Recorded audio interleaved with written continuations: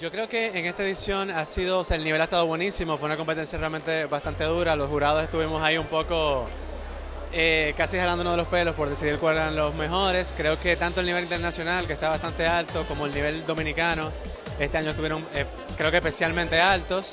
Eh, fue bastante difícil. En el caso particular mío, a ver, yo me fui más, como soy director, más por la, por, bueno, por la dirección.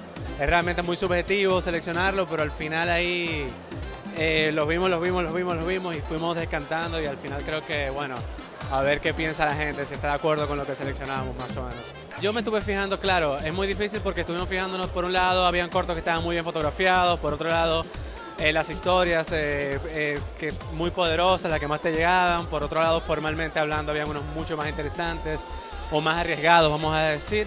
Yo creo en el caso particular eh, yo me estuve fijando más en los riesgos que tomaron los directores o las directoras en cuanto, claro, a, a propuestas de dirección, de estética, estética, básicamente.